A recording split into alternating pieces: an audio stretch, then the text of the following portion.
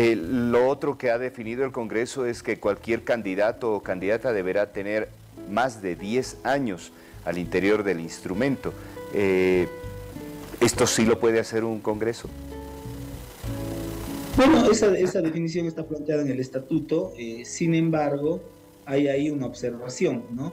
esta, esta nueva norma se contradice primero con la ley de organizaciones eh, de partidos políticos, por lo cual puede ser eh, fácilmente refutable.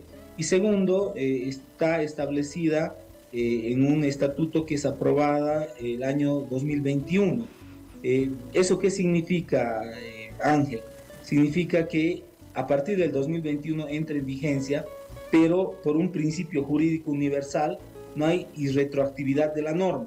O sea que recién empezarían a contar los años para todos a partir de eh, este estatuto aprobado el 2021. Entonces, hoy, eh, a partir de lo que manda ese nuevo estatuto, no hay nadie que tenga los 10 años de antigüedad. Entonces, eh, yo creo que eso tampoco puede, va, a ser un argumento jurídico para truncar la candidatura de, en este caso, del actual presidente Luis Arce. Entonces, eh, seguramente va a haber una disputa jurídica ahí encarnizada, pero habrá que ver cómo se decanta. Carlos, la última, muy cortito, es que quiero aprovechar tu expertise en comunicación política. Eh, de pronto, ¿cuál sería el mensaje que están dando a sus bases y también a la población en general eh, un partido político con tantos conflictos, con tanta tensión, con tantas cosas que se dicen a través de los medios. Eh, lo que creíamos que estábamos haciendo era asistir a unas primarias televisadas y adelantadas a nivel nacional en todos los noticieros, pero verdaderamente hoy eh, está claro que hay una ruptura y hay una atomización al interior del instrumento, ¿no?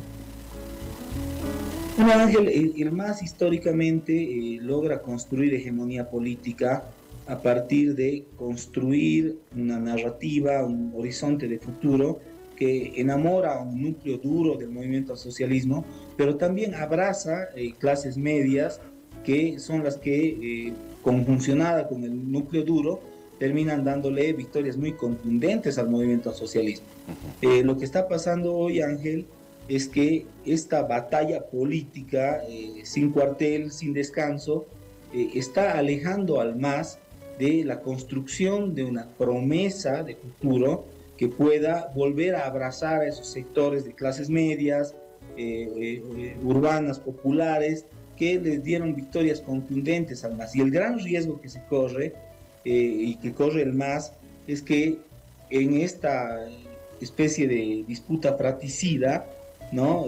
se olvide de su electorado, del, del electorado que le dio contundentes victorias, y al olvidarse de ese electorado, le abra la posibilidad a una oposición que hoy no tiene un liderazgo claro, no tiene estructura, no tiene ni siquiera una propuesta de país que enamore a la gente, de que a partir de esa fractura tenga una posibilidad real de tomar el poder. Entonces, el MAS podría estar caminando, evidentemente, hacia un suicidio colectivo en ambas alas, porque se está olvidando de su electorado, que es algo clave, es algo fundamental. Si Evo Morales y Luis Arce no dejan esta pelea fratricida y los dos empiezan a pensar en cómo mejorar las condiciones de vida, en cómo generar eh, narrativas que enamoren a sus núcleos duros, pero también a los otros núcleos votantes que no son partidarios, yo creo que están caminando hacia un fracaso colectivo.